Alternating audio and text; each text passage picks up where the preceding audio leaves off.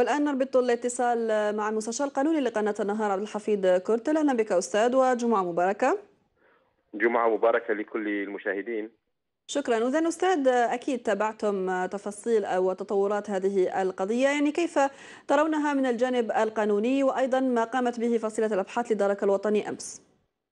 طبعا تحدثنا يعني في كثير من المرات وفي كثير من الفرص التي أتيحت لنا عن مناقشه قانونية محضة لهذا الملف عن آراء قانونية محضة من هذا الملف. يعني لكن دائما ما تكون هناك مستجدات نظرا للأسماء التي دائما تتواجد في في فيما يخص هذه القضية. طبعا هناك تحيين للمعلومات. يعني في كل مرة عندما نتحدث نضع أمامنا قانون العقوبات الجزائري وقوانين أخرى. ثم آه، نقوم بإسقاط هذه الوقائع على هذه القوانين لكي نعرف آه، أي خانة سنصنف هذه الأفعال وأي عقوبات تنتظر هذه الأفعال. هكذا آه، القانون القاعدة القانونية عامة ومجردة. يعني الآن القضية أخذت أبعاد كبيرة جدا. بالنظر أنها بدأت بقضايا قذف ثم تحولت إلى قضايا تفرعت عن قضايا القذف قضايا أخرى ظهر أن فيها آه، بعض الجرائم آه، نعتبرها جرائم خطيرة لأن عقوبتها خطيرة جدا. تحدثنا قلنا بأن آه، انطلاقا من شهرين إلى عشر سنوات. هذا ما يمكن أن ينتظر كل من يرتكب بعض الجرائم المنصوص عليها في هذه القوانين.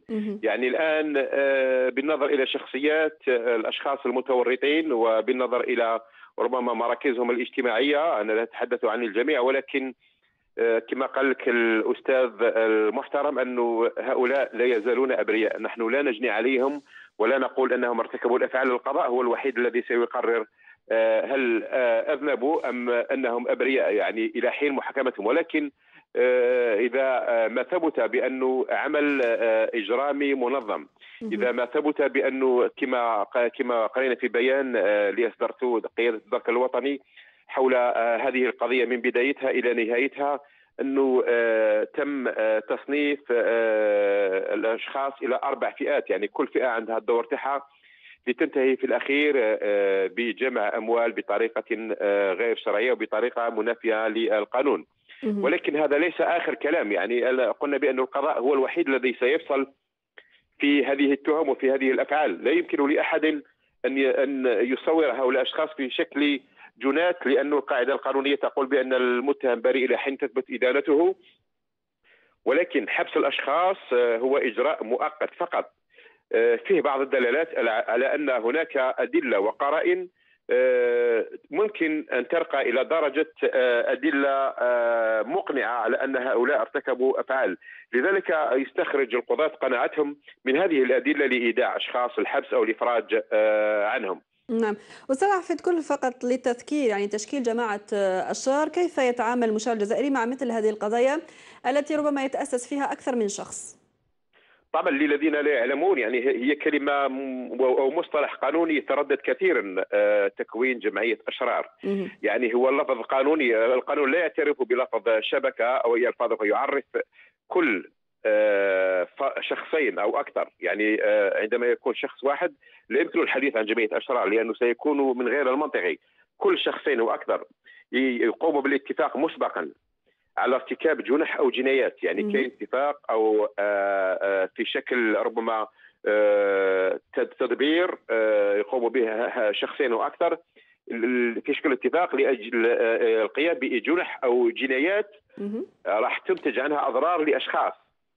هذه الأفعال تشكل آه، تكوين جمعية أشرار يعني كجريمة. آه، لذلك آه، يلجأ دائما عندما تكون هناك جنح أو جنايات فيها مجموعة أشخاص إلى تكييف قانوني اللي هو تكوين جمعية اشرار على أساس المواد 176 177 من قانون العقوبات لهؤلاء الأشخاص لاعتبار أنه الفعل متفق عليه مسبقا. لذلك قامت مصالح الدرك الوطني بتقسيم هؤلاء الأشخاص إلى فئات، الفئة الأولى الدور تاعها، الفئة الثانية ودورها، الفئة الثالثة ودورها، ثم الفئة الرابعة التي تنهي آه، العملية، يعني هذا العمل آه، طبعا صادر من من قانون الإجراءات الجزائية ومن قانون العقوبات الجزائري. وكل الملفات طبعا آه، ستوضع بين أيدي دفاع كل متهم.